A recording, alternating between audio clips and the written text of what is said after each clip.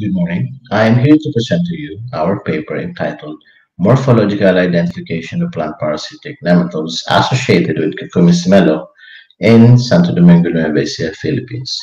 This research is a product of Central Bicol State University of Agriculture and the Polytechnic University of the Philippines. For the introduction, as stated by Sebastian last 2010, genus Cucumis has particularly distributed in the wild from southern and central Africa across southern Asia to northern Australia and now comprises of roughly 66 species. Berger et al. also claim that cultivated melons exhibited much fruit diversity, which ranged in size from 5 cm in diameter to less than 10 kilograms.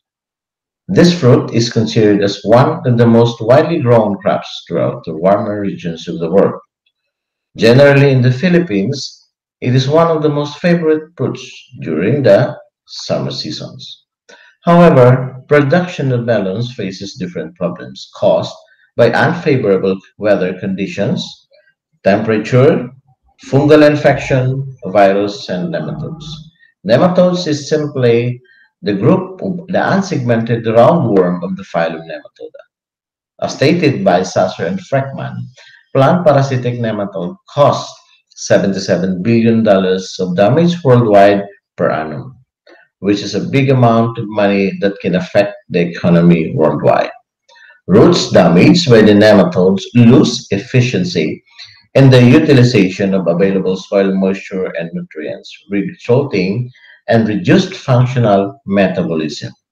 This particular uh, thing that happens when the, the plants is being infected with nematodes simply became an hindrance for the plant to fully fully utilize its biotic potential. When plants with weakened and damaged roots become easy prey to various fungi and bacteria which accelerate root decay.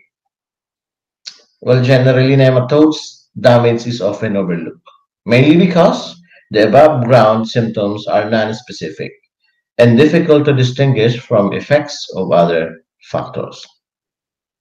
For the object objective of our study, the main objective of this study was to identify the plant parasitic nematodes associated with the melo, variety Cantalupensis.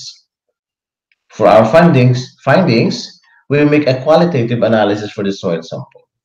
And soil sample pH was 5.8, nitrogen as well as phosphorus is low, potassium is sufficient, while the textural field moisture is heavy. For the method on the collecting and processing of nematodes, the first thing that we did is we make a survey of the melon plants in Nueva Ecija, the one that possess sclerosis and necrosis, because this has a greater chances of being affected with nematodes and then we get we get the root sample and then we get the soil sample using the auger and then we extract the nematodes using the Baermann tray technique. We fixed it and using a dissecting microscope we look for the frequency counting of parts per million of the population of the nematodes. And the findings reveals that there are two kinds of plant parasitic nematodes that is present in the area. And this is your Helicotylenchus and Rotylenchus. The directed population in melon is far from alarming threshold level based on Miewski 2007 because what we have uh, revealed that nematode population per 100 cc of soil of Rotylenchus and Helicotylenchus is less than 5 individual at the same time. So occurrence of this are low.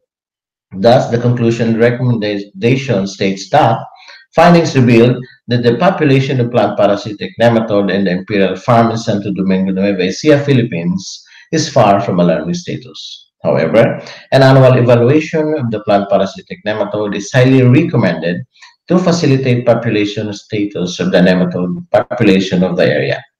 Furthermore, an evaluation of the nematode population in other site is indeed recommended. And that's all. Thank you.